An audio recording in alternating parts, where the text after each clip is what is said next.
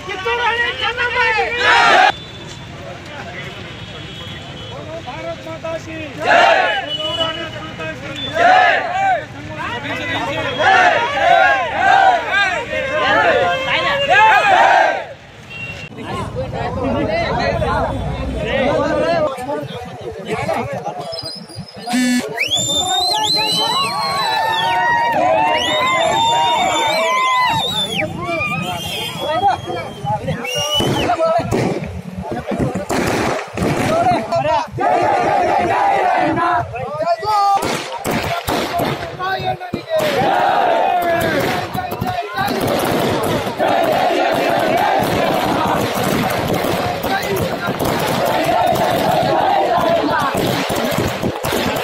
ಮೂಡಲಗಿಯಿಂದ ಬೆಳಗಾವಿಗೆ ಬಂದು ಸುವರ್ಣ ಸೌಧದ ಎದುರು ವೀರರಾಣಿ ಚೆನ್ನಮ್ಮ ಶೂರ ರಾಯಣ್ಣ ಪ್ರತಿಮೆ ಸ್ಥಾಪನೆ ಮಾಡಬೇಕೆಂದು ಪ್ರತಿಭಟನೆಯನ್ನ ನಡೆಸಲಾಗುತ್ತಿದ್ದು, ಬೆಳಗಾವಿ ಸುವರ್ಣ ಸೌಧದ ಎದುರು ವೀರರಾಣಿ ಕಿತ್ತೂರು ಚೆನ್ನಮ್ಮ ಮತ್ತು ಶೂರ ಸಂಗೊಳ್ಳಿ ರಾಯಣ್ಣ ಪ್ರತಿಮೆ ಸ್ಥಾಪನೆ ಉದ್ದೇಶದ ಸಂಕಲ್ಪ ಯಾತ್ರೆ ಮೂಡಲಿಗೆಯಿಂದ ಇಂದು ಬೆಳಗಾವಿಯ ಚೆನ್ನಮ್ಮ ಆಗಮಿಸಿರುವ ಹಿನ್ನೆಲೆಯಲ್ಲಿ ಮೂಡಲಗಿಯ ಶ್ರೀ ಶಿವಯೋಗಿ ಮಹಾರಾಜರ ನೇತೃತ್ವದಲ್ಲಿ ನೂರಾರು ಜನರು ಯಾತ್ರೆಯಲ್ಲಿದ್ದು, ಬೆಳಗಾವಿ ಚೆನ್ನಮ್ಮ ವೃತ್ತದಲ್ಲಿ ಪ್ರತಿಭಟನೆ ನಡೆಸಿ ಬಿರನವಾಡಿಯತ್ತ ಯಾತ್ರೆಯನ್ನ ತೆರಳಿಸಿದ್ದಾರೆ. ಅಷ್ಟೇ ಅಲ್ಲದೆ ಮೂಡಲಗಿಯ ಮಹಾರಾಜರು ಯಾತ್ರೆಯ ನೇತೃತ್ವವನ್ನ ವಹಿಸಿದ್ದು, ಪ್ರತಿಭಟನೆಯಲ್ಲಿ ಪಾಲ್ಗೊಂಡಿದ್ದಾರೆ. ಇನ್ನು ಈ ಸಂದರ್ಭದಲ್ಲಿ ಮೂಡಲಗಿಯಿಂದ ಸಂಕಲ್ಪ ಯಾತ್ರೆಯಲ್ಲಿ ಆಗಮಿಸಿದ ಕಿತ್ತೂರು ಅಭಿವೃದ್ಧಿ ಪ್ರಾಧಿಕಾರದ ಸದಸ್ಯ ಲಖನ್ನ ಸಂಸ್ಕೃತಿ ಮಾತನಾಡಿ, ದೆಹಲಿಯ ಪಾರ್ಲಿಮೆಂಟ್ ಎದುರು ವೀರರಾಣಿ ಕಿತ್ತೂರು ಚೆನ್ನಮ್ಮ ಪ್ರತಿಮೆ ಸ್ಥಾಪಿಸಲಾಗಿದೆ. ಬೆಳಗಾವಿ ಸುವರ್ಣ ಸೌಧದ ಎದುರು ವೀರರಾಣಿ ಕಿತ್ತೂರು ಚೆನ್ನಮ್ಮ, ಶೂರ ಸಂಗೊಳ್ಳಿ ರಾಯಣ್ಣ ಪ್ರತಿಮೆ ಸ್ಥಾಪನೆಗೆ ಆಗ್ರಹಿಸಿ ಸಂಕಲ್ಪ ಯಾತ್ರೆ ಕೈಗೊಂಡಿದ್ದೇವೆ ಎಂದು ಮಾಧ್ಯಮಗಳಿಗೆ ತಿಳಿಸಿದ್ದಾರೆ. ಈ ಹಿಂದಿನ ಸರ್ಕಾರ ನೂರ ನಲವತ್ತೈದು ಕೋಟಿ ರೂಪಾಯಿ ಹಣಕಾಸು ಇಲಾಖೆ ಅನುಮೋದನೆ ಕೊಟ್ಟಿತ್ತು. ಆ ಪ್ರಕಾರ ನಾನು ಡೈರೆಕ್ಟರ್ ಆದ ನಂತರ ಎಲ್ಲಾ ಇಲಾಖೆ ಅಧಿಕಾರಿಗಳನ್ನು ಕರೆದ ಸಂಬಂಧಿಸಿದ ಇಲಾಖೆಗಳಿಗೆ ಎಸ್ಟಿಮೇಟ್ ಮಾಡಿ ಕೊಡ್ಬೇಕಂತೇಳಿ ನಾವು ಸೂಚನೆ ಕೊಟ್ಟಾಗ ಅವ್ರು ಎಸ್ಟಿಮೇಟ್ ಮಾಡಿ ಸರ್ಕಾರ ಸಬ್ಮಿಟ್ ಮಾಡಿದ್ರೆ. ಮಾಡಿದ ನಂತರ ಹಿಂದಿನ ಸರ್ಕಾರ ಹೋದ ನಂತರ ಮುಂದಿನ ಸರ್ಕಾರದವರು ಯಾವುದೂ ಒಂದು ಪೈಸಾ ಸಹ ಕಿತ್ತೂರು ಪ್ರಾಧಿಕಾರಕ್ಕೆ ಬಿಡುಗಡೆ ಮಾಡಿಲ್ಲ.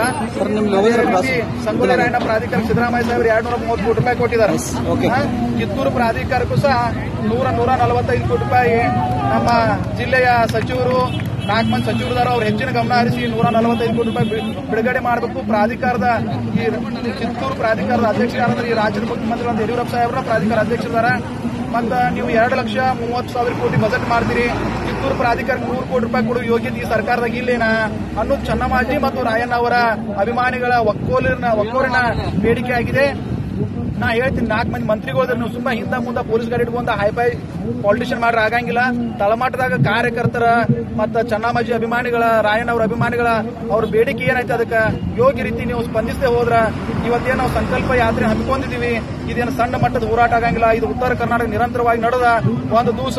ಬೆಳಗಾವಿಯಲ್ಲಿ ಅಲ್ಲೋಲ ಕಲ್ಲರು ಸೃಷ್ಟಿ ಮಾಡಿದ್ರು ಸಹ.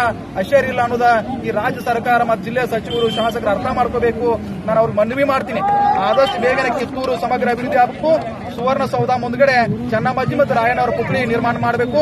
ಮತ್ತು ಪಾರ್ಲಿಮೆಂಟ್ ಮುಂದೆ ಮಾಡಕ್ ಸಾಧ್ಯ ಐತಿ. ಯಾಕೆ ಸುವರ್ಣ ಸೌಧ ಮುಂದೆ ಮಾಡಕ್ ಸಾಧ್ಯ ಇಲ್ಲ ನೀವ ಸಹ ಪೊಲಿಟಿಷಿಯನ್ಸ್ ಸಚಿವರು, ಶಾಸಕರು ಆತ್ಮಾಲೋಕನೆ ಮಾಡ್ಕೋಬೇಕಂತೇಳಿ ನಾನು ಅವರಿಗೆ ಒತ್ತಾಯಪೂರ್ವಕವಾಗಿ ಕೇಳಿಕೊಳ್ತೀನಿ. ಇನ್ನು ಇದೇ ಸಂದರ್ಭದಲ್ಲಿ ಸಂಕಲ್ಪ ಯಾತ್ರೆಯ ಮುಖಂಡ, ಸಾಮಾಜಿಕ ಕಾರ್ಯಕರ್ತ ಭೀಮಪ್ಪ ಗಡಾದ್ ಮಾತನಾಡಿ, ವೀರರಾಣಿ ಕಿತ್ತೂರು ಚೆನ್ನಮ್ಮ, ಶೂರ ಸಂಗೊಳ್ಳಿ ರಾಯಣ್ಣ ಇಬ್ಬರು ನಮಗೆ ಆದರ್ಶ ಪ್ರಿಯರಾಗಿದ್ದು, ಸ್ವಾತಂತ್ರ್ಯಕ್ಕಾಗಿ ಬಲಿದಾನ ಮಾಡಿದ ಮಹನೀಯರು. ಇಬ್ಬರ ಪ್ರತಿಮೆ ಕೂಡ ಸ್ಥಾಪನೆ ಆಗುವವರೆಗೂ ನಮ್ಮ ಹೋರಾಟ ನಿಲ್ಲಿಸುವುದಿಲ್ಲ ಎಂದು ಖಡಕ್ ಎಚ್ಚರಿಕೆಯನ್ನ ರವಾನಿಸಿದ್ದಾರೆ. ಏನಂದ್ರೆ, ಇವತ್ತು ನಾವು ಸಂಕಲ್ಪ ಯಾತ್ರೆ ಮಾಡಿದ್ದು, ನಮ್ಮ ಗಂಡು ಮೆಟ್ಟಿನ ನಾಡಂತ ಬೆಳಗಾವಿ ಸುವರ್ಣಸೌಧ ಹತ್ತಿರ ಸ್ವಾತಂತ್ರ್ಯಕ್ಕಾಗಿ ಹೋರಾಡಿದ ವೀರರಾಣಿ ಕಿತ್ತೂರು ಚೆನ್ನಮ್ಮ ಹಾಗೂ ಸಂಗೊಳ್ಳಿ ರಾಯಣ್ಣವರ ಮೂರ್ತಿಗಳನ್ನ ಸರ್ಕಾರ ಬರುವ ಅಧಿವೇಶನದಲ್ಲಿ ಸ್ಥಾಪಿಸುವಂತ ತೀರ್ಮಾನ ಮಾಡಬೇಕಂತ ಇವತ್ತ ನಾವು ಇವತ್ತು ಸಂಕಲ್ಪ ಯಾತ್ರೆಯನ್ನು ಪಕ್ಷಾತೀತವಾಗಿ ಮಾಡಿದೀವಿ. ಇದರಲ್ಲಿ ಎಲ್ಲಾ ಪಕ್ಷದ ನಾಯಕರಾದರು, ರೈತ ಸಂಘದವರದಾರು, ಪೂಜ್ಯ ಸ್ವಾಮೀಜಿಯವರು ಮಾರ್ಗದರ್ಶನ ಮಾಡಿದ್ವಿ. ಇವತ್ತಿಂದ ನಮ್ಮ ಮುಖ್ಯ ಉದ್ದೇಶ ಅಂದ್ರೆ ರಾಯಣ್ಣವರು ಮತ್ತು ಚೆನ್ನಮ್ಮಾಜಿಯವರು ಮುತ್ತಳಿಯನ್ನು ಸ್ಥಾಪನೆ ಮಾಡ್ತಾರೆ ಹಾಳಾಯ್ತ್ರಿ ಆಮೇಲೆ ಅಲ್ಲಿ ಈಗ ಎಲ್ಲ ಪಾಚ್ ಗಂಟೆ ಸರ್ ಭೂತ ಬಂಗ್ಲೆಗೆ ತೆಗೈತಿ ಅನ್ಸೋದು ಇಲಾಖೆಗಳ ಸ್ಥಳಾಂತರ ಆಗಿಲ್ಲ.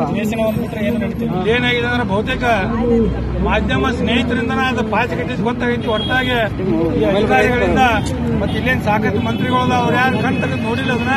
ಅದಕ್ಕೆ ಆ ಪಾಚ್ ಗಂಟೆ ಮಣ್ಣೆ ತಾವೇನ ದೃಶ್ಯವಾಗಿ ಪ್ರಿಂಟ್ ಮಾಧ್ಯಮ ಕೊಡ್ತೀವಿ ಮೊದಲನೇದಾಗಿ ನಿಮ್ಮ ಅಭಿನಂದನೆ ಸಲ್ಲಿಸ್ತೀವಿ ಸರ್ಕಾರಕ್ಕೆ ಎಚ್ಚರಿಕೆ ಕೊಡ್ತಾ ಇದೀವಿ ಐನೂರು ಕೋಟಿ ಹಣವನ್ನು ಖರ್ಚು ಮಾಡಿ ಯಾವುದೇ ಕಾರ್ಯಕ್ರಮದ ಸರ್ಕಾರಿ ಕಚೇರಿಗಳು ಪ್ರಾರಂಭ ಆಗ್ತಾ ಇಲ್ಲ.